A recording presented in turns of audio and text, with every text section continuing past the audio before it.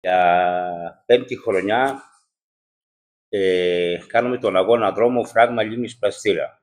Ο Πολιτιστικός Σύλλογος Καστανιάς Μούχας, ο Άγιος Τρίφων, μαζί με την Περιφέρεια και το Δήμο Καρδίτσας, διοργανώνουν τον πέμπτο λαϊκό δρόμο που έγινε πλέον θεσμός για τα χωριά μας.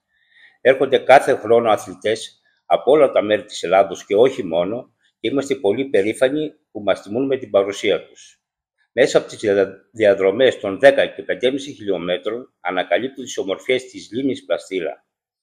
Προσκαλούμε λοιπόν μικρούς και μεγάλους να έρθουν την Κυριακή 4 Αυγούστου να απολαύσουν τις διαδρομές του αγώνα. Ο Σύλλογος θα φροντίσει για την άψογη εξυπηρέτησή τους για φιλοξενία όπως ξέρουν τα χωριά μας.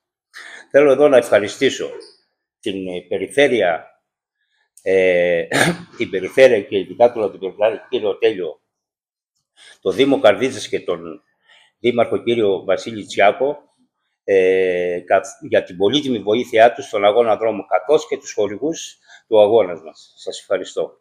Ε, η Ντίνα Ιαγγλέζου, υπεύθυνη του αγώνα, θα σας αναλύσει για τις, ε, δια, ε, τις διαδρομές.